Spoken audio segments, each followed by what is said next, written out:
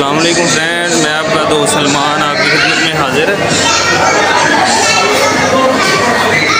मैं इस वक्त जी लैलपुर गैलरी के अंदर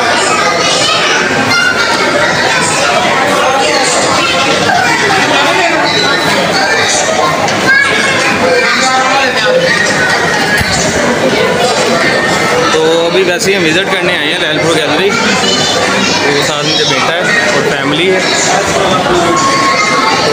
अभी इस तरफ़ मतलब या देखेंगे बैक साइड पर।